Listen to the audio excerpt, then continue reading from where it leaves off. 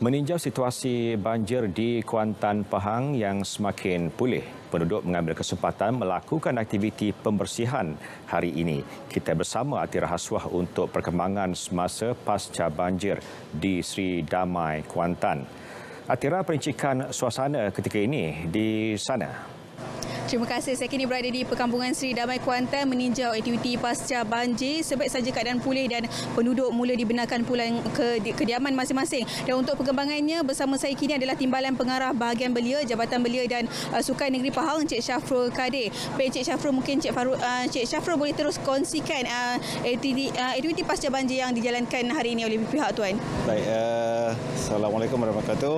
Uh, untuk pasca banjir uh, pagi tahun ini, kita kita melibatkan uh, sukarelawan kita dan juga pegawai-pegawai daripada Jabatan Belia dan Sukan Negeri Pahang.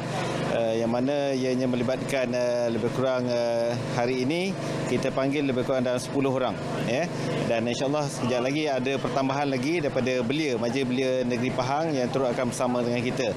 Yang mana uh, tempatnya uh, di sini memang uh, kawasan yang agak teruklah di sini yang uh, dilanda Okey. Okey Encik Syafrul, mungkin daripada segi pemilihan uh, kerja-kerja pembersihan di rumah-rumah yang terjejas, uh, ada adakah ditetapkan pemilihan tertentu dalam kerja-kerja pemilihan ini?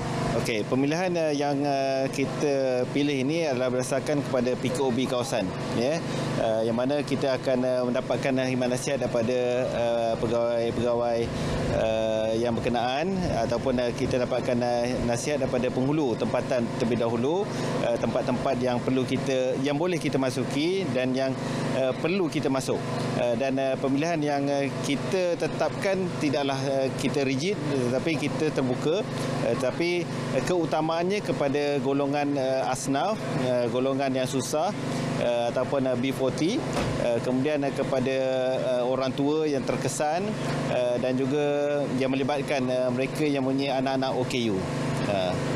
Okey, melihat kepada keadaan banjir yang tidak menentu sekarang, adakah daripada uh, pihak Encik Syahrul sendiri ada pasukan yang sentiasa bersedia untuk membantu bila-bila masa bila diperlukan? Ya, uh, untuk Jabatan Belia dan Sukan yang kita ada uh, Satria, Sukarelawan uh, Anak Malaysia yang uh, ditubuhkan oleh Kementerian Belia dan Sukan, sememangnya kita sentiasa bersiap sedia pada bila-bila masa sahaja mengikut arahan. Tetapi kita fokus kepada pasca banjir. Uh, kita tidak melibatkan uh, bantuan kepada ketika banjir. Kita hanya melibatkan uh, pasca banjir iaitu kerja-kerja uh, mencuci, mengemas dan sebagainya yang melibatkan selepas banjir.